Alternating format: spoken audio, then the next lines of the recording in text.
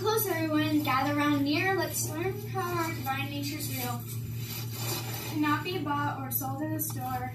You will see that its value is ever much more. Now the crown-wearing lassies wore crowns on their heads.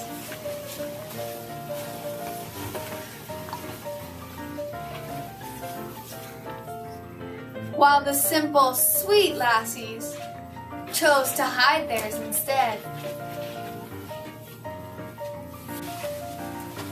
Now those crowns weren't so big, they were really quite small. You would think such a thing wouldn't matter at all. But because they were crowns, those crown-wearing lassies, they paraded around ever so slightly.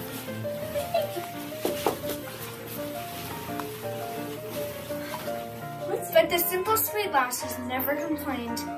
They simply lived righteously day after day. They helped others in need and did good works without mention. Always discreet, never drawing attention. When the crown-wearing lassies had Frankfurt frankfurter roasts, or picnics or parties or marshmallow toasts, they never invited the simple sweet lassies, those snooty patooties of West Tallahassee's. Left them out cold, never let them come near. And that's how they treated them year after year. Then one day it seems, from out of thin air, appeared a kind sister with an important message to share. My friends! She announced with a voice clear and keen. My name is Michaela McMonkey McBean. I've heard of your troubles. I've come from afar with a magic mirror that really can show how you are. We're all important, believe it or not. We're all crown wearers, but somehow forgot.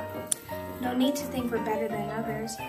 For all of us has come here as sisters and brothers. So when you feel blue because the world's got you down, just remember to Always wear your invisible crown! For you see, divine nature is a gift from our Father above, given to all and given with love. Your divine nature's inside you. It's always been there, though it may seem that others don't notice or care.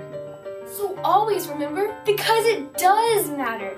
Our gift will lead us to our Happy